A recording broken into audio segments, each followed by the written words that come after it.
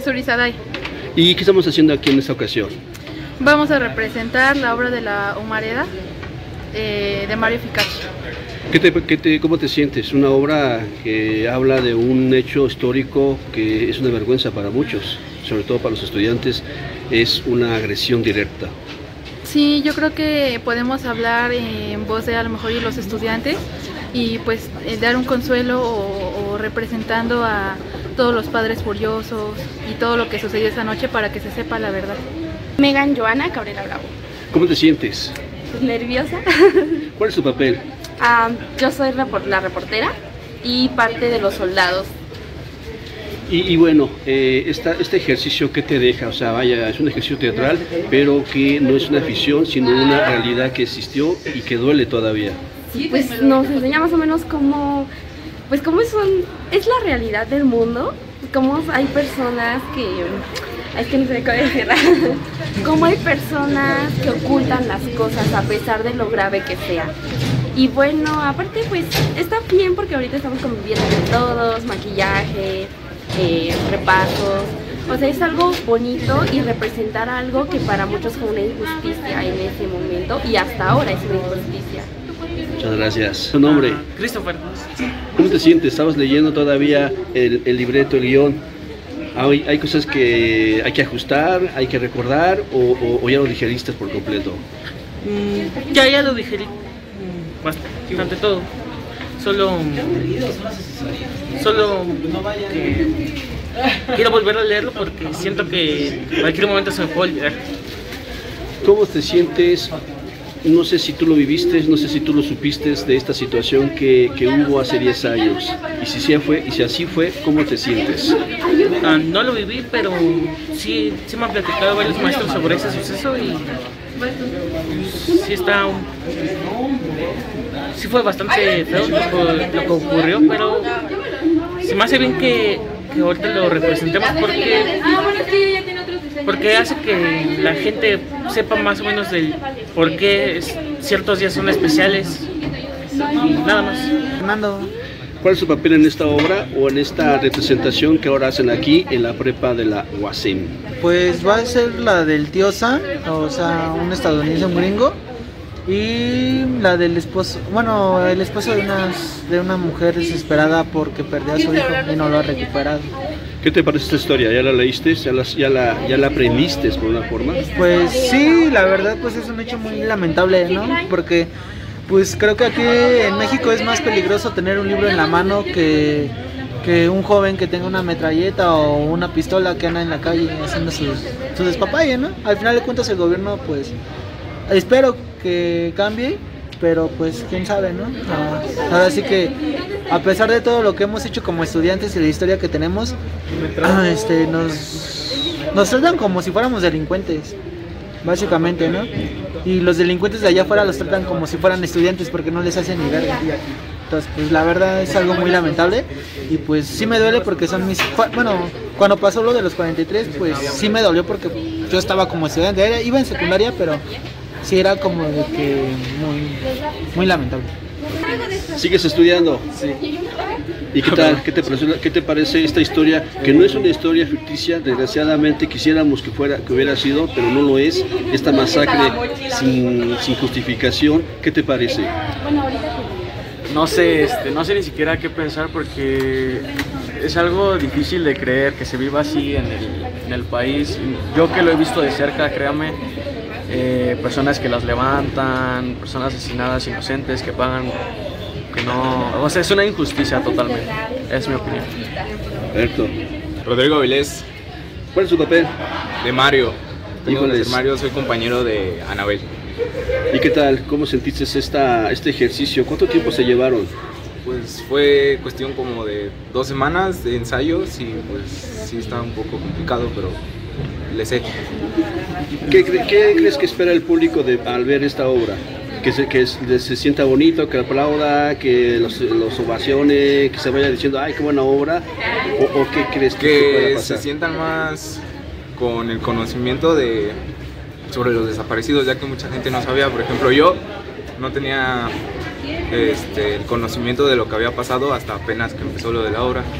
Pues considero que algunos compañeros no van de saber tampoco y con esto van a saber y que se pongan poquito en los zapatos de la familia, de los desaparecidos. Samantha, ¿Tu papel? Soy un coro y una mamá buscando a sus hijos. ¿Te has puesto a pensar alguna vez después de leer esta historia qué pasaría contigo si fuera uno de tus hijos en un futuro el, uno, de los, uno de los desaparecidos? ¿Qué pensarías? Ay, no sé, yo creo que es así como volverte loca, ¿no? Buscando a tu hijo, la injusticia, la impotencia de no poder hacer nada, de no saber quién fue, no, no les dan respuesta, son muchas cosas que no... O sea, me pongo en el zap- los zapatos de las mamás y sí es muy, muy feo, muy fuerte. Mi nombre es Miriam. Y en esta ocasión, ¿qué estamos haciendo frente a la biblioteca? ¿Qué vamos a hacer? Representación de los desaparecidos de Ayotzinapa. ¿Y qué te parece esta historia que yo te pregunto? ¿Crees que sea ficción? ¿Crees que haya sido una historia contada eh, en libros o, o memoria y que nunca pasó? Pues yo creo que sí pasó y pues hay que conmemorar y no olvidarlos y seguir buscando.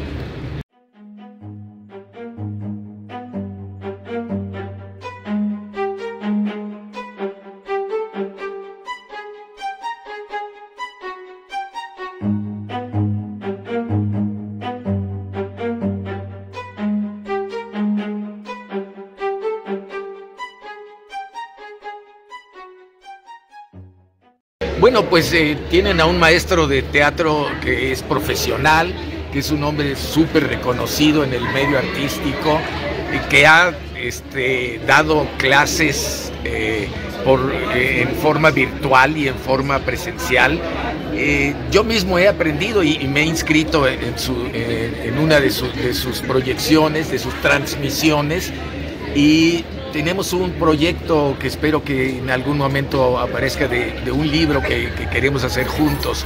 Así que, ¿qué te puedo decir? Estoy contento de ver que efectivamente los muchachos eh, entienden, están haciendo un trabajo de, de caracterización, de llegar a sus personajes y estoy sorprendido porque, bueno, pues tú conoces la obra, La Humareda es sumamente directa, es poética y vamos a ver cómo, cómo se ha enfrentado, cómo se ha enfocado este trabajo por parte de Jorge Prado Zavala. Así es, porque él nos comenta que de hecho está haciendo una historia sobre la misma poesía o el mismo poema que usted le, le- le prestó. Y, y vaya, esta, esta obra que es suya eh, se puede montar como un monólogo poético. A ver, acércate aquí que están hablando. Sí. como, como un este eh, una, narración poética, un monólogo poético como tal, un solo actor, o puede ser por varios. Ayer vimos cuatro actores allá en Ciudad de Zahualcoyo, hoy vemos pues un ejército casi por decirlo. Y, maestro, ¿cómo se siente? Porque su obra, no sé si haya sido esa la intención de presentarla así en estas dimensiones. Cada director tiene plena libertad de hacer con mi obra lo que su imaginación, lo que su interés por resaltar eh, este, sea, sea honesto, sea un trabajo de compromiso. Entonces, no es que yo le haya prestado un poema, es que la obra La Humareda tiene dos partes. Una que es el poema dramático que surge a partir de la verdad histórica. Y la verdad histórica es cuestionada desde que apareció el primer día eh, por parte de Jesús Murillo Cara. Entonces, la segunda parte se hizo tres años después y es un monólogo de un testigo, de un testigo de lo que sucedió justamente esa, esa tremenda noche, esa, esa tragedia de la desaparición de los 43 y el asesinato de varios otros. Señoras y señores, esta es la tercera llamada, tercera, tercera llamada. Principiamos. Desde lo lejos se levanta negra, espesa, juguetona. El viento intenta dispersarla, se mantiene unida. Nace de un incendio de corazones, nace del odio al hermano, nace del silencio.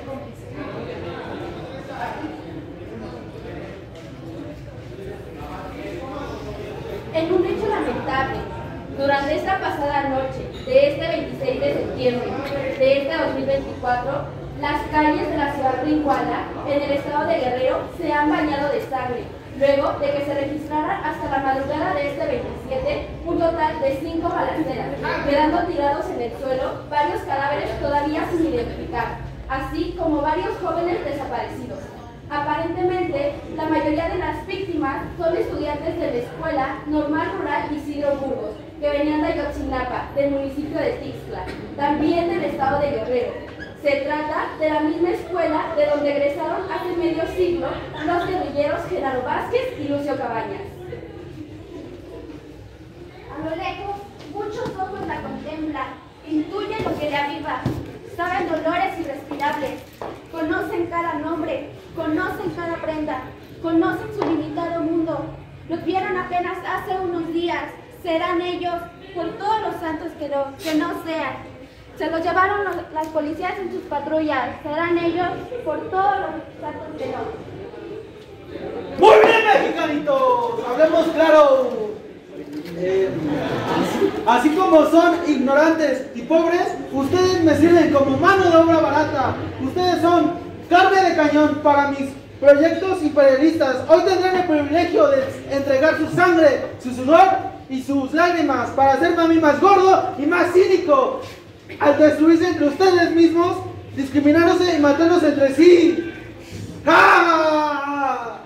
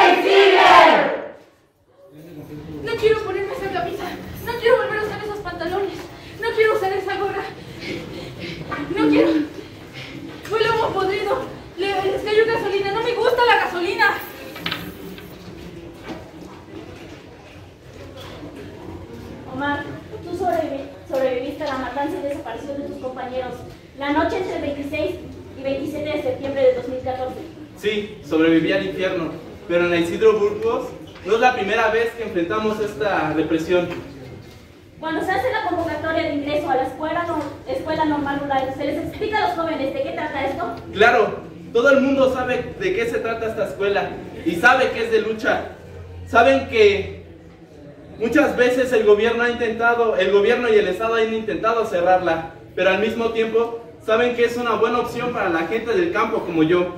Gente que no puede costearse una, una escuela de paga.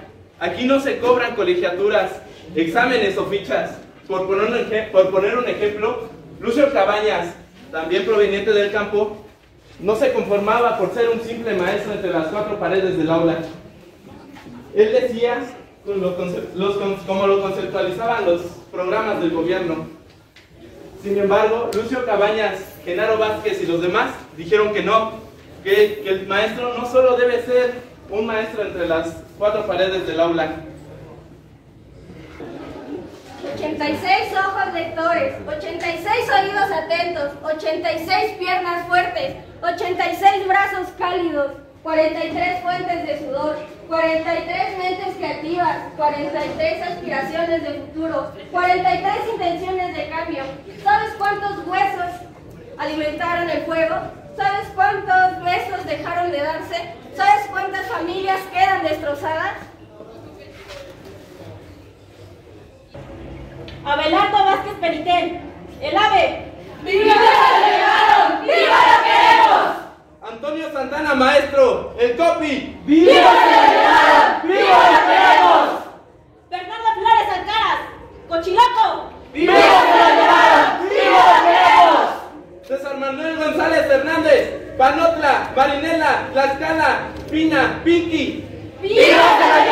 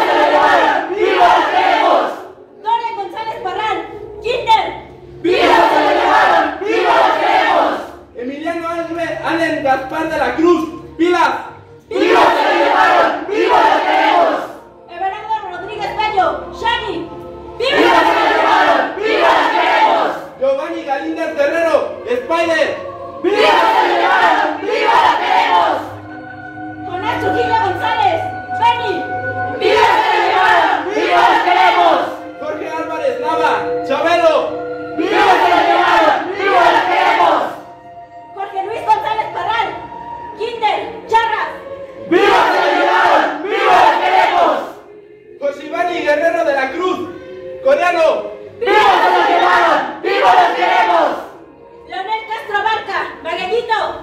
¡Viva la llegaron! ¡Viva la queremos! Luis Ángel Albarca Carrillo, Amitzingo. ¡Viva la llegaron! ¡Viva la queremos! Marcial Pablo Veranda, el indígena, Magallón. ¡Viva la llegaron! ¡Viva la queremos! Marco Antonio Gómez Molina, Tuntún. ¡Viva la llegaron! ¡Viva la queremos! Miguel Ángel Hernández Martínez, Botitas. ¡Viva la llegaron! ¡Viva la queremos! Miguel Ángel Mendoza Zacarías, Miclo. ¡Viva la llegaron! ¡Viva la queremos! Saúl Bruno García, Chicharrón. ¡Viva la llegaron! ¡Viva la queremos! Adán Abraham de la Cruz, El Hierro. ¡Viva la llegaron! ¡Viva la queremos! Alexander Mora Venancio, Pericón, La Roca, Randy. ¡Viva la llegaron! ¡Viva la queremos! Carlos Lorenzo Hernández Muñoz, Frijol. ¡Viva la llegaron! ¡Viva la queremos! Cristian Alonso Rodríguez de Lumbre, Hugo, La Uga. ¡Viva la llegaron! ¡Viva la queremos! Israel Jacinto Lugardo, Chuquito. ¡Viva la llegaron! ¡Viva la queremos!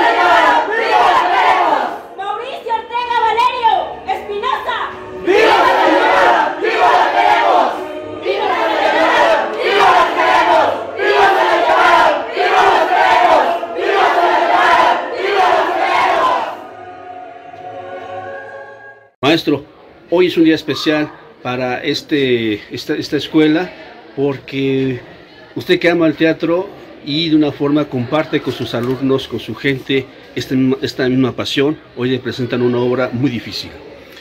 Sí, eh, pues primero gracias otra vez Mario por acompañarnos en otro evento del Laboratorio de Teatro y Libertad. Eh, hoy se cumplen 10 años de la desaparición de 43 estudiantes eh, de la escuela Raúl Isidro Burgos en la ciudad de Iguala. Y el maestro Mario Ficacci había escrito un texto eh, desde sus emociones, un texto escrito desde el corazón acerca de lo sucedido. Entonces, no, no, eh, su texto es un poema, es un texto emocional, es un texto lírico, y ya desde ahí nos pone retos para convertirlo en un espectáculo teatral. Eh, el público no tiene todavía, de hecho nadie tiene claridad sobre qué fue lo que ocurrió, y entonces eh, ante un poema, pues lo que voy a preguntarme, este, sí son palabras hermosas, palabras emotivas, pero ¿qué me están queriendo comunicar? ¿A qué se refieren? Entonces nos dimos a la tarea de intervenir ese texto lírico para poder convertirlo en un texto espectacular. Eh, intervenimos la humareda poniéndole un contexto histórico-social, eh, introdujimos personajes que no había propuesto este, Mario Ficacci. Creamos personajes porque lo que tiene un poema son voces líricas, una o varias voces líricas. Pero eh, creamos personajes, creamos una narrativa.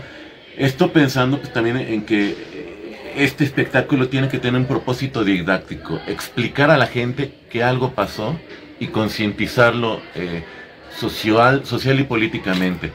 Si nos falta información, no podemos alcanzar ese objetivo. Sí, de hecho, esos días, hace 10 años, em, eh, hacían caricaturas este, donde policías y soldados señalaban a un chico diciendo, tiene un libro, cuidado, tiene un libro, tiene un libro.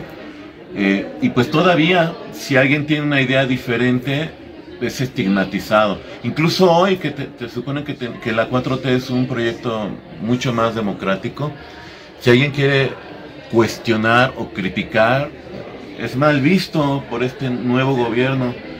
Eh, y yo sigo apelando a la luz que nos proponía Carlos Fuentes cuando dijo, es que la crítica es una señal de optimismo, porque quiere decir que las cosas pueden ser mejores.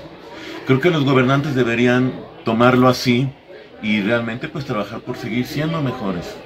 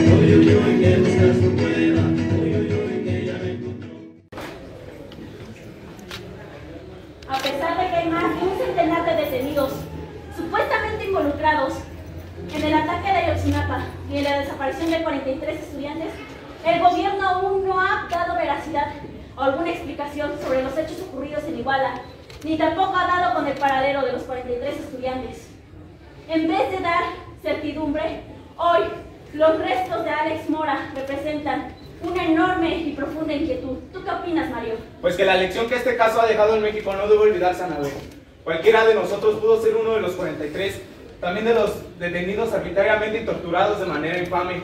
Resulta imperioso encontrar a los normalistas y también encontrar a los verdaderos responsables, los que ordenaron, los que ejecutaron y los que encubrieron, y también los que desde el más alto nivel protegieron a los encubridores y perpetradores. No se trata solo de un tema de justicia elemental para las familias que buscan desesperadamente a los suyos. Significa dar un ejemplo de justicia a un país que debe salir de este agujero profundo, de corrupción, impunidad y violencia. El derecho a la verdad es un derecho del que todos tenemos que luchar día tras día. Ya nos golpearon y nos quitaron todo. Bueno, no todo. ¿Cómo fue quedarse esta llave en mi bolsa? A lo mejor es una señal. Sí, eso debe de ser. Es una señal porque tengo que regresar la llave de los de la escuela. A los vecinos responsables del salón de asambleas. A mi abuelo para que abra el candado del corral. A mi hermana para que entre a la casa.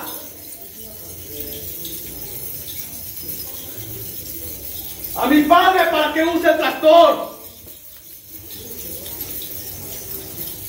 A mi compañero para que abra la biblioteca. Al director de la escuela para que entre al salón de junta. Al maestro de teatro para que guarde su escenografía. ¡Voy a regresar! ¡Voy a regresar! Reconocí a uno de los policías. Él no quiso verme de frente. Jugábamos juntos detrás de la primaria. Se hizo poli. Yo no. No me gusta portar armas. Prefiero los libros y relacionarme con los niños del pueblo y con los maestros. Él no quiso verme de frente, pero lo reconocí. El camión que Redila daba tumbas en la noche. Llevaba 43 jóvenes normalistas del estado de Guerrero. ¿Hablaban entre ellos? No. No hablaban. Iban en silencio apretando cada uno la llave que se había quedado en la bolsa de su pantalón.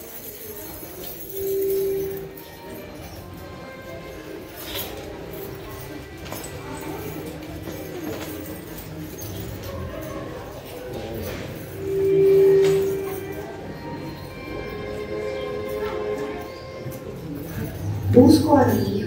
Estoy buscando desde 1983. La amo, la recuerdo a todos los días, la espero. Temos que ter acesa a fé e a esperança de um reino.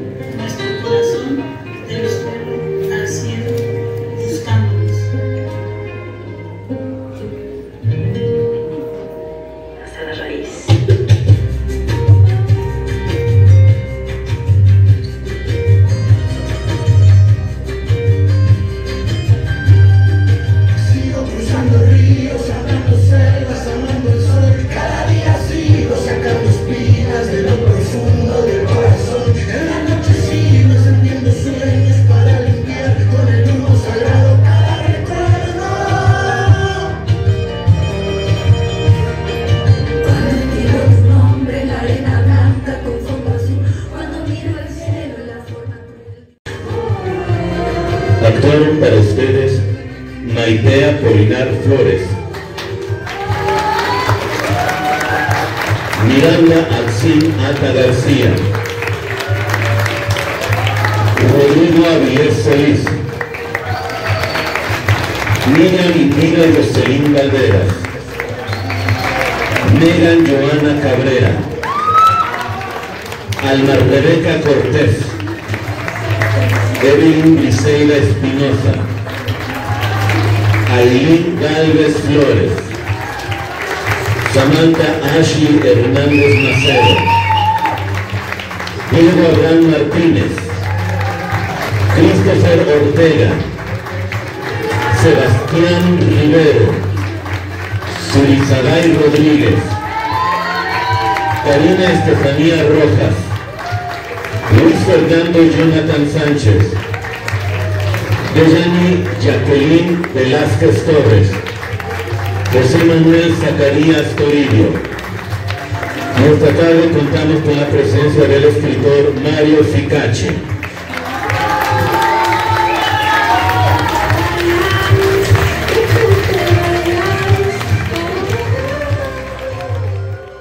Es un texto de Felipe Galván Rodríguez sobre la obra que acabamos de ver, La Humareda, de Mario Picacho. De verdades a verdades. La historia persigue la verdad de los hechos en el transcurrir humano y es una disciplina científico-académica. El arte, y a este pertenece el teatro, es una actividad creativa de la mente y el corazón humanos, intentando trascender en el interior del ser en sí mismo, persiguiendo la verdad artística. Existen verdades incuestionables, demostradas y comprobadas tanto en la historia como en el arte, pero en la complejidad humana hay verdades falsas, tanto en la historia como en el arte, que intentan convencer como incuestionables. Un caso así se desarrolla en la verdad histórica que intentó ser verdad, verdad histórica y la propuesta, la humareda, del dramaturgo Mario Picachi. 43 muchachos desaparecieron una noche en Iguala Guerrero. Las evidencias grabadas dejaron ver intervención de policías municipales, estatales y federales, además de probablemente militares no uniformados que posteriormente patrullaron la ciudad y en un hospital revisaron y dejaron ir a compañeros de los desaparecidos acompañados de maestros sindicalistas de la localidad. Días después, el Estado mexicano declara una, según ese gobierno de Estado priista, verdad histórica, en la cual los 43 jóvenes fueron incinerados en un basurero, creando así una simbólica, multimortal y trascendente humareda. A esa verdad, que ya veremos si lo es o no, acude Mario Picachi para relatarnos propositivamente una hipótesis que no es histórica sino artística. En ella, como en toda propuesta artística teatral, no es pleonasmo con tanta actividad presentada como teatral, nosotros ya acabamos de ver teatro. Persigue cómo alcanzar un hallazgo en dos direcciones, encontrar algo nunca antes dicho y presentar un hecho ya expuesto en una forma nunca antes expresada o ambas. Lo atractivo es que el hallazgo es doble. Alguien había hablado de la desaparición de los 43 en una humareda, nadie antes de Mario Picache. ¿Se conoce alguna propuesta que testimonie, reflexione, acuse desde el gas grisáceo, opaco, dificultoso al discernimiento de la vista, vista y empáticamente catártico? No, hasta ahora, solo la audacia creativa de Mario Picachi. No importa que la verdad histórica priista de los gobernantes pre-cuarta transformación haya pasado a evidenciarse como una mentira más del panpriismo mexicano de casi 90 años de poder de logro filantrópico. La humareda es una propuesta artística con todos los elementos evidenciados como arte, teatral en su metodología para compartirse con el otro, los otros, los cientos o miles que accedan a ella a través de, en su primera temporada, 15 elencos que la transmitirán entre el 24 y el 29 de septiembre de este 2024, tanto en la Ciudad de México como en el Estado de, Estado de México, Puebla, Veracruz y Guerrero. Gracias al autor Mario Picachi por llevarnos a la verdad artística que después de conducirnos por la consideración, el terror y la catarsis, nos provoca más allá de la falsedad de la verdad histórica priista, las reflexiones sobre la ubicación de los 43 jóvenes, la claridad sobre los culpables y el consecuente castigo para que algo así no vuelva a suceder. porque vivos se los llevaron. Vivos los queremos. Vamos. Bueno, mira, eh, uno se queda siempre con el asombro de la creatividad de un director como Jorge Prado Zavala. Jorge tenía que tomar mi texto y hacerlo suyo y hacerlo partícipe interviniendo mi poema dramático. Y, yo estoy muy satisfecho porque yo sabía que invitar a Jorge Prado Zavala estaría yo en esa línea de respeto a su parte, a su creatividad, a su obra. Entonces, para mí ha sido una sorpresa muy agradable de maquillaje, de participación colectiva, de baile. Es, y ha hecho un espectáculo con una, con una fase, además de denuncia, muy reconocible y de gran compromiso.